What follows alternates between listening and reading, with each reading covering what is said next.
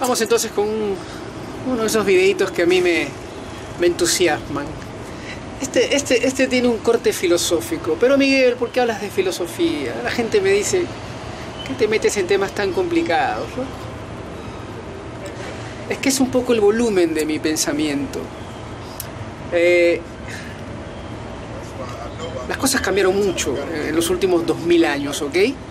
Este, y siempre me tengo que eh, retrotraer al, mensaje de Jesucristo. Es muy loco que ese mensaje esté tan vigente 2000 años después, ¿ok?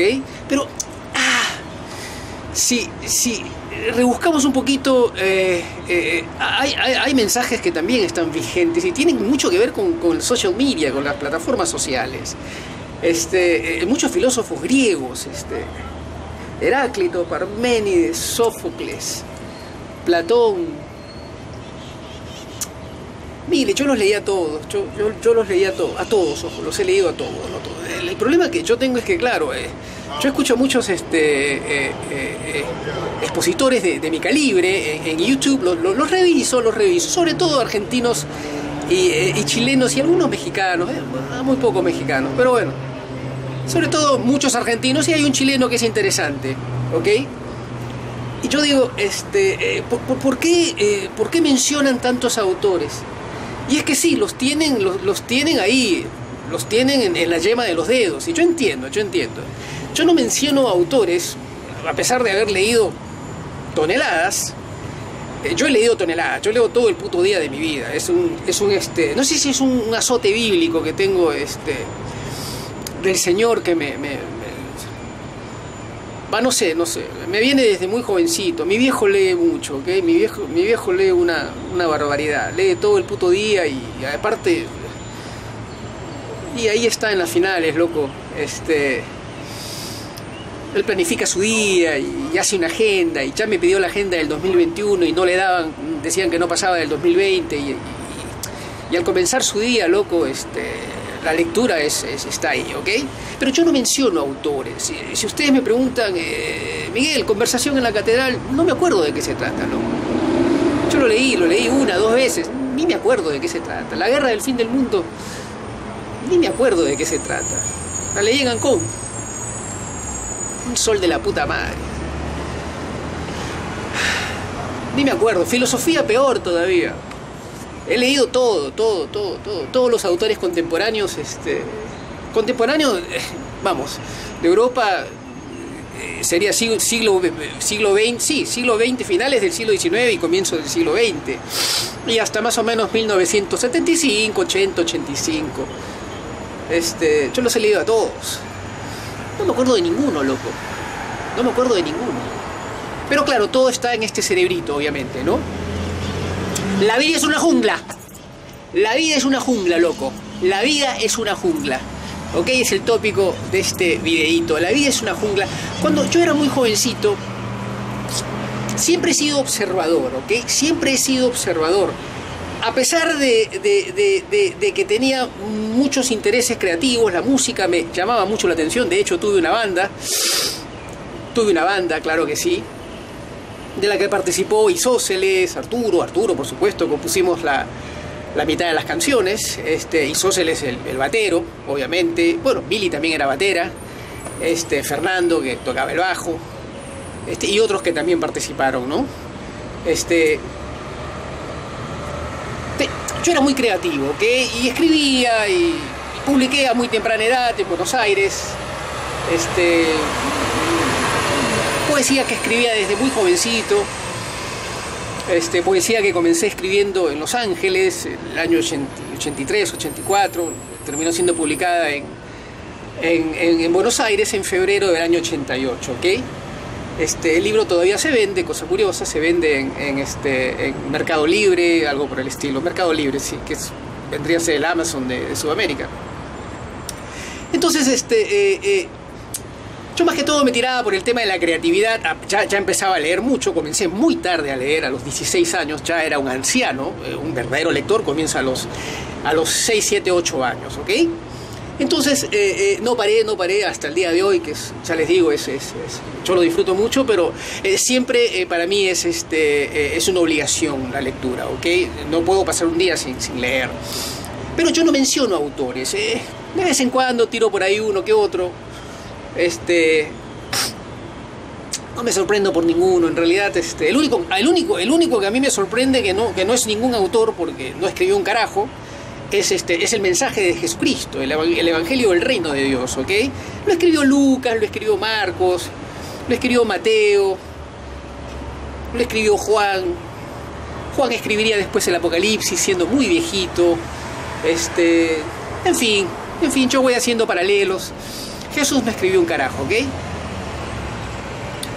Un poco como Sócrates, Sócrates tampoco escribió nada. Platón escribió este, bueno, vamos, no se sabe si Sócrates vivió o no vivió. Ok, hay un autor, eh, Josephus, lo, conozco en inglés, no sé cómo se dice en castellano, Josephus, que me está llegando el libro casualmente. Es un autor este, secular de, la época de Jesucristo, ¿ok? Muy interesante. Entonces, la vida es una jungla. ¿Y por qué es una jungla? Es una jungla, eh, y por, por, favor síganme, que acá eh, aparece mucho de mi pensamiento este, filosófico este, eh, eh, cruzado un poquito con, este, voy a tener que mezclar un poquito de, neurología, que no conozco por supuesto, pero como soy psicólogo, eh, nos enseñan en los tres años de, facultad en Argentina, son este, los primeros años son de medicina casi, ¿ok? Entonces, trato de ubicar dónde estaría, este, dónde estaría ubicada esta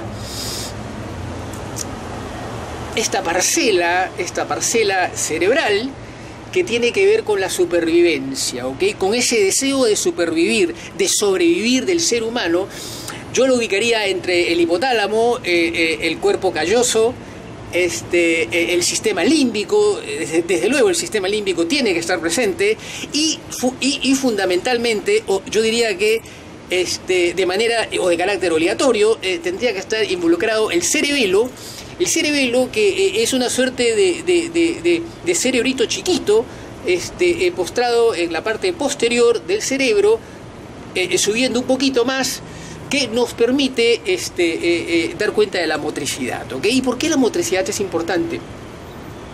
Porque desde que vamos creciendo, desde que vamos evolucionando, cuando tomamos decisiones de, actuar, de ejecutar, tiene que ver con la capacidad motriz de levantarte, empezar a caminar y empezar a ejecutar. ¿Ok? Entonces, ¿por qué la vida es una jungla? La vida es una jungla porque te va presentando demandas, exigencias en cada fase de tu vida. ¿Y qué cosa es lo que yo vi? Yo les decía que yo era una persona muy creativa, ¿ok? Por ahí lo sigo siendo, pero claro, con el tiempo te vas frustrando un poquito, obviamente, ¿no? Este, ya empiezas a dejar eso de lado, la música, Ah, nunca me interesó mucho tampoco, prefiero ser este espectador, pero los libros sí, yo, yo soñé con ser un gran escritor, ¿ok? Este, yo siempre quise ser un gran escritor, ese fue el sueño de mi vida, ¿ok? Desde muy jovencito hasta que lo dejé de lado, por supuesto, ¿no? Eh, anyway, entonces, ¿qué es lo que sucede? Yo vi, eh, siendo muy jovencito, a los 17, 18 años, que ciertas personas despegaban, ¿ok? ¿Y por qué despegaban? ¿Por qué despegaban? despegaban porque habían adscrito, habían adscrito a un sistema. ¿Qué cosa es el sistema? El sistema, el sistema es el decreto de los padres y de la sociedad que te rodea, siempre la sociedad que te rodea a ti, donde tú creciste, es la que marca el sistema legislativo de tu vida. ¿Ok? Tú te vas a regir de acuerdo a donde creciste. Por ahí, el sistema legislativo de una provincia, un departamento, un estado de tu país ajeno al tuyo no va a determinar ¿ok? los criterios que tú vas a, vas a tomar para definir tu vida cuando recién estás comenzando. ¿Por qué? Porque no tienen resonancia en tu vida. ¿ok? En mi vida, en mi vida personal y donde yo crecí, había un sistema que seguir. Había un sistema que seguir. ¿ok? Si tú seguías ese sistema, te iba a ir bien, ibas a triunfar en la vida, tus viejos iban a estar contentos. ¿Ok? Y la gente de alguna manera te iba a aplaudir, pero sobre todo te iba a convalidar. Y fueron pasando los años y yo dije, efectivamente, el sistema tiene razón. Síganme por favor que esto es importante, ¿ok? El sistema tiene razón. Si tú sigues el sistema, tú vas a triunfar.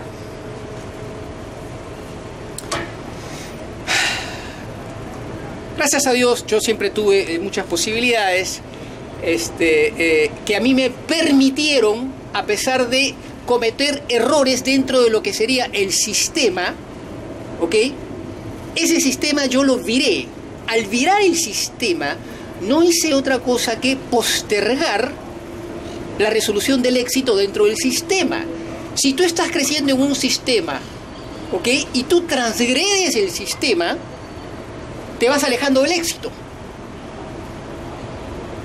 ¿Ok? En pocas palabras, en mi caso personal, te vas alejando de la venta.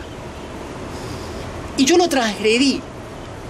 Al transgredir el sistema, me alejé del éxito.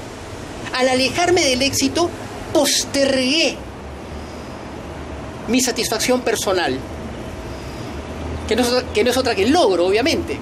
El logro, el logro personal y que después tiene que ver con el logro de tu familia, porque los, los viejos siempre van a estar muy contentos. Los viejos, los abuelos, anyway. Entonces, cuando pegué la vuelta de los 27, 28 años, ya habían pasado 10 años después de este, empezar a liquidar la adolescencia, empecé a ver cómo se iban estructurando la vida de personas que habían disparado conmigo. Entonces, empezaban las primeras compras de los departamentos, los primeros enlaces matrimoniales, ya te empezaban a llegar los primeros partes matrimoniales, de casamiento, de esto, de lo otro, porque gente que venía conmigo desde el mismo sistema había seguido una ruta sistémica. Síganme porque esto es muy importante.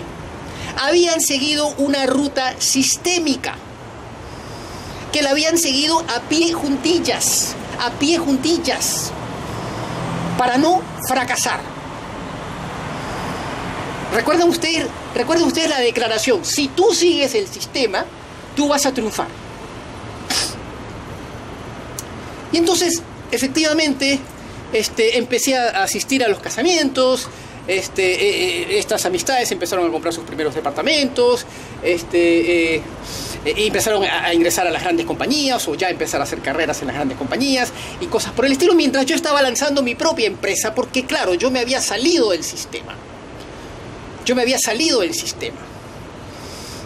Lanzo una compañía, lanzo una empresa, regreso de Buenos Aires, un viaje loco, lanzo una compañía, una empresa en un lugar, una, un lugar que es, ah, no sé, es, es, una jungla, es una jungla, eh, llamado Gamarra, tenía ocho empleados, tenía un almacén, tenía un socio, un enorme socio, un, un, tipazo, terminó en el MIT, este, un almacén, una tienda eh, y ocho empleados, había que pagar ocho salarios y yo solamente tenía 27 años. Yo me había salido del sistema. Entonces, cuando tengo que cerrar, la declaración del sistema es, Miki, tú fracasaste. Fracasaste. Mientras yo voy avanzando. Mientras yo voy avanzando. Porque el sistema te, te convalida si tú vas avanzando. Síganme porque esto es muy importante. Y pasaron los años. Ahora, ¿qué pasaba? Yo era parte de la transgresión del sistema. Todos veníamos de las mismas familias. ¿Ok? Todos veníamos del mismo grupo. Yo era parte de la transgresión del sistema. Como transgresor del sistema, el rótulo era vas a fracasar, porque te saliste del sistema. Solamente triunfan los que siguen el sistema a pie juntillas y tú no lo seguiste. Al dar la vuelta, al virar la vuelta de los 30, efectivamente viene un gran reto para mí. Tenía una noviecita británica de Londres, curiosamente la hija de un OBE, de un Officer of the British Empire, ¿ok? Este, y, y que quería casarse, quería formar familia. Y yo le tengo que decir en algún momento, Julia, quiero que te regreses a Londres, porque no te puedo ofrecer, no te puedo ofrecer la vida que tú te mereces, ¿ok? Y esta chica lloraba, lloraba, lloraba, lloraba un día antes de su cumpleaños, ¿ok? Fue la última vez que la vi, fue la última vez que la vi. porque yo quería lo mejor para ella, yo, yo no le podía ofrecer lo que ella merecía, ¿ok? Este, existe una fundación incluso a nombre del padre. En, este, el padre vendría a ser lo que era este, eh, Olmedo, el, gordo porcel en Inglaterra, ¿ok? Este, era un comedian, un comedian. Este, no sé, en el Perú no, sé cuáles son los cómicos. Este, no sé cuáles son los cómicos. Yo me quedé con Estrafalario, no sé cuáles son los cómicos. Ni idea, ni idea. El gordo, el gordo Casareto. lo que, no sé si, no sé si Casareto. Había uno que era papá. Yo soy papá. Yo soy, me olvidé, me olvidé. Yo soy papá. Anyway. Y le tuve que decir que, por favor se, se, volviera. Y se volvió y finalmente hizo su vida en Inglaterra. Anyway.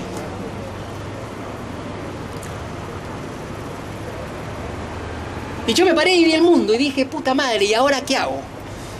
Yo fracturé el sistema. Y ahí empecé a ver que acontecía algo muy interesante. Yo les dije que la capacidad de supervivencia se encontraba entre el cuerpo calloso, el hipotálamo, el sistema límbico y el cerebelo. Hay una fracción ahí, hay una pequeña parcela, ¿ok? Que determina tu capacidad de supervivencia está ahí tu capacidad de supervivencia de ver el mundo y decir, puta madre, ¿y ahora qué mierda hago? ¿Qué mierda hago? ¿Qué mierda hago? Porque para sobrevivir un lunes, un martes, un miércoles, un jueves, un viernes, un sábado y un domingo, tengo que trabajar y tengo que comer. Y me tengo que tragar este sapo que se llama vida y que además es una jungla.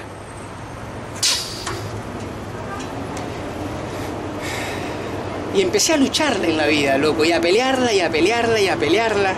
Y empecé a experimentar este trabajo, hacer esto, hacer lo otro, lanzar una nueva empresa, trabajar para fulano de tal, ser empleado, ser jefe de producto, ser jefe de ventas, ser gerente de ventas, ser gerente comercial y empecé a tomar puestos distintos, compañías chiquitas, compañías grandes, me fue bien, fracasé, volver a lanzar un producto, fracasar de repente o tener un pequeño éxito y regresar otra vez, pero nunca era parte del sistema.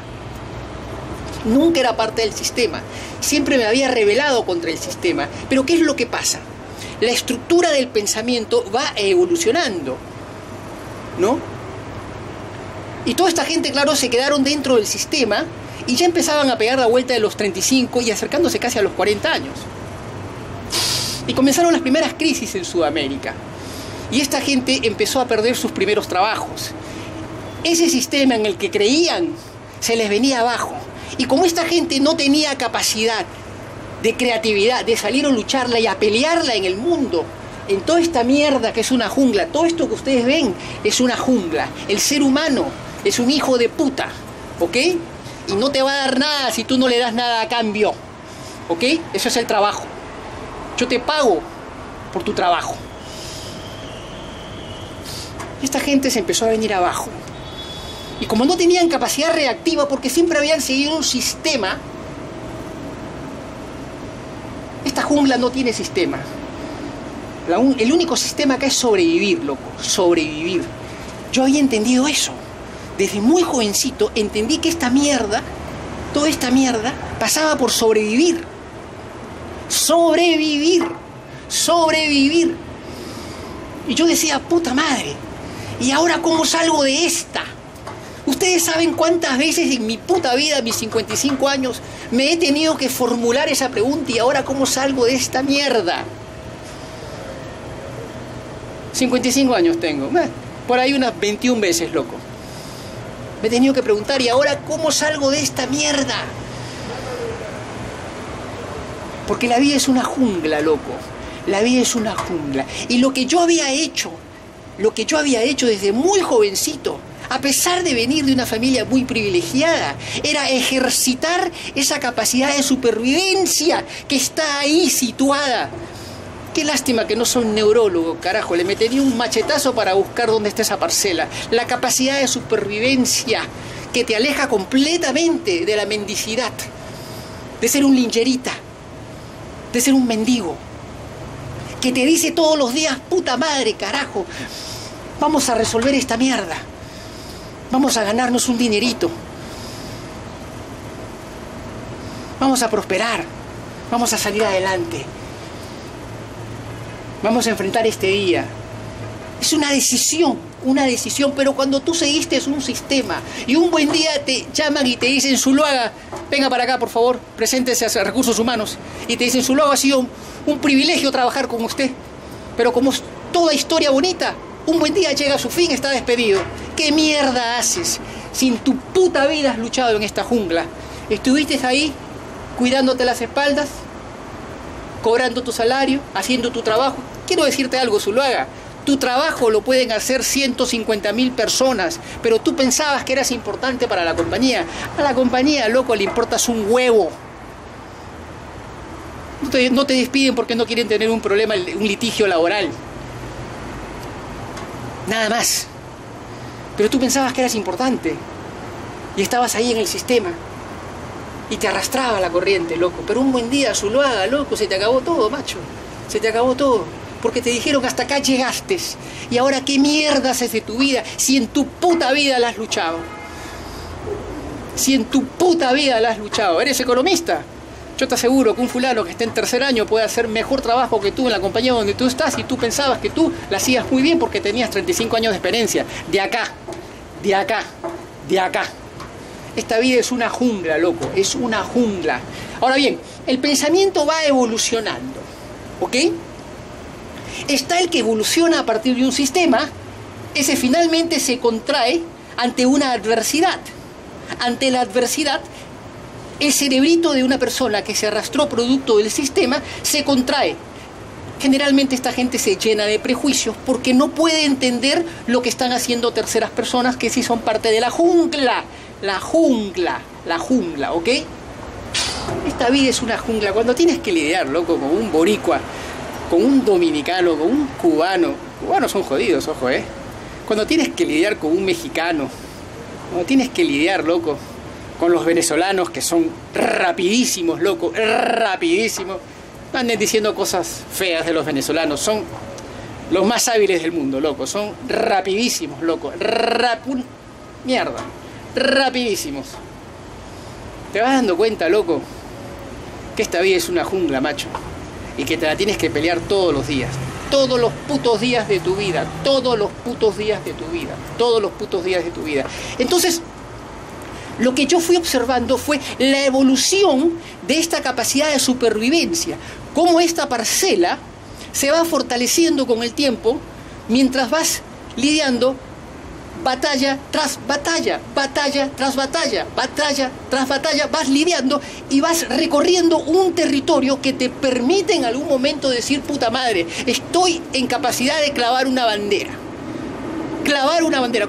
¿Qué bandera es la que vas a clavar? Vas a clavar la bandera de tu libertad, loco.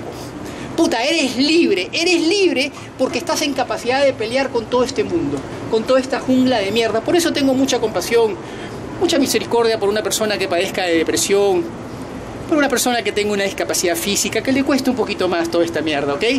Es así, loco. Hay gente que padece de algunos trastornos emocionales. Y entonces les es más difícil, ¿ok? Porque esto de acá es una jungla, loco. Esto, esto es una jungla, macho. Y entonces, ¿qué es lo que pasa? La evolución del pensamiento, la evolución de tu capacidad de enfrentar la vida, va madurando. Entonces, ¿qué es lo que sucede? Me pasó de ver a mucha gente que disparó rápido, pero al llegar a la vuelta de los 40, ya no pudieron continuar. Porque la vida, esta jungla, se les hizo un martirio. No estaban preparados para esta vida. Sus viejos no les dijeron que el sistema se podía quebrar. Sus viejos no les dijeron que existían golpes de Estado no les dijeron que existían opciones de que tu país se vuelva un país comunista. Vean Venezuela, miren lo que está pasando en la Argentina. No les dijeron eso. Les dijeron simplemente sigue el sistema que todo te va a ir bien.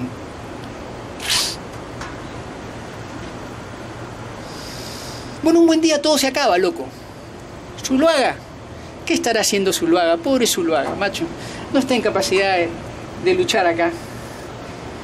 La lucha es jodida, loco. Tienes que tener una determinación de que vas a resolver, de que vas a ganar. Ahora bien, así como, así como eventualmente puedes tener mucha fuerza, tu capacidad mental puede tener mucha, mucha fuerza, mucho volumen de motivación a los 18, 19 años porque eres parte de un sistema. A los 39, 40, 41 años se puede terminar desinflando completamente y entonces la vida se te hace un azote bíblico y no puedes continuar, no puedes continuar. ¿Ok? Cuando no puedes continuar, tienes un problema.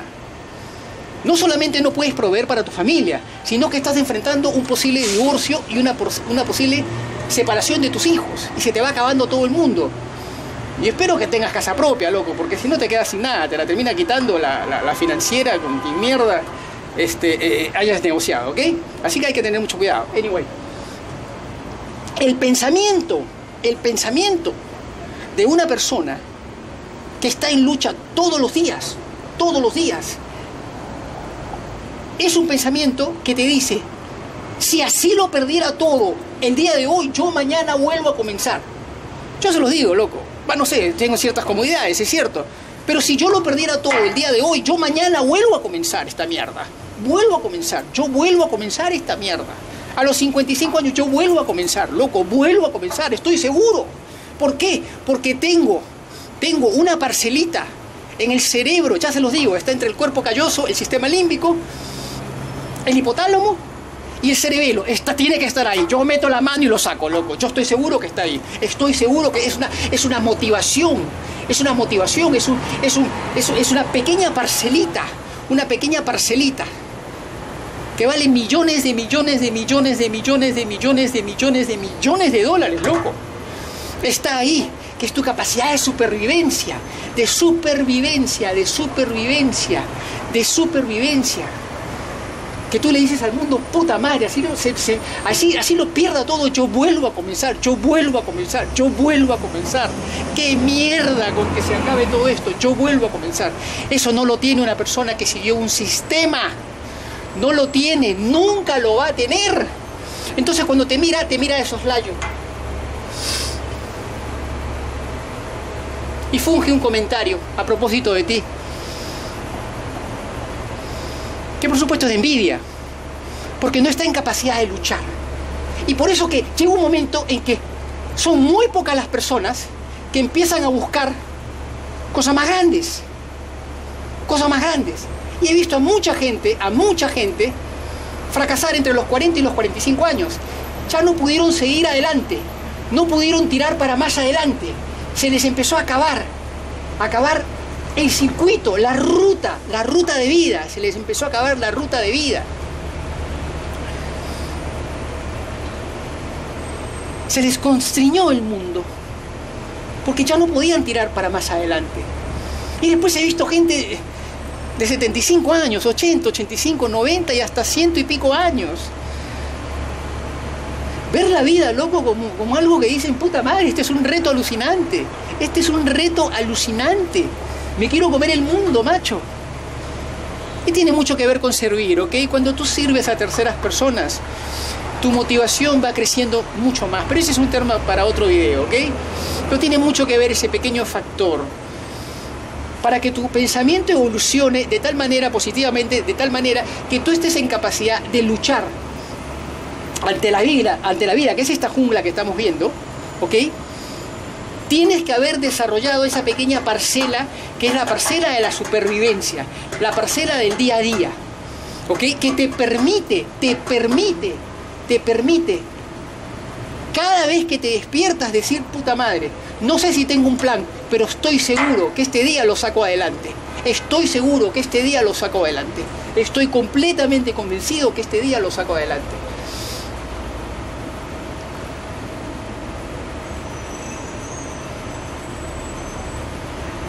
El león no te pide permiso, loco. El león cuando tiene hambre te mete un, te mete un bocadito así, ¡pum! Y se acabó. Así es la vida. Es una jungla espantosa. Por eso hay que estar preparado, loco. Por eso hay que estar preparado. Y por eso yo elegí la fracción rebelde. la fracción rebelde. No es que yo la elegí, se me dio de esa manera por mi forma de ser, mi comportamiento. Desde chiquito fue así. Ahora bien, lo interesante es ver todas esas fases de evolución del pensamiento, cómo, cómo el pensamiento va evolucionando de tal manera que es esa pequeña parcela de supervivencia la que va marcando tu derrotero a través de la vida, ¿ok? A través de la vida, a través de la vida. Y está la gente que también sigue un sistema y terminan concluyendo su vida a través del sistema. Hay gente que tiene éxito en el mismo sistema, ¿ok? Es el caso de mi viejo, por ejemplo. Mi viejo siguió un sistema y tuvo éxito dentro del sistema, ¿ok? Mi viejo jamás, jamás saltó, ¿ok? La varilla del sistema, jamás transgredió, siempre fue parte de un sistema y tuvo mucho éxito. Hay casos exitosos, obviamente, hay mucha gente que siguió un sistema y tuvo éxito. Y murieron a, tardía edad, ¿ok? 85, 90 años, que eh, es el caso de mi viejo, ¿no? Que va por ahí, va por ahí. Es un hombre muy exitoso, pero que siguió un sistema. Mi caso es diferente, yo soy transgresor, yo seguí el sistema de la transgresión, que no es otra cosa que la jungla. Yo soy Miguel, desde South Peak, Florida, esta vez con un video un poquito pesadito, sin mencionar filósofos. Desde South Florida. Ya regreso con otro video. Adiós, chao, chao.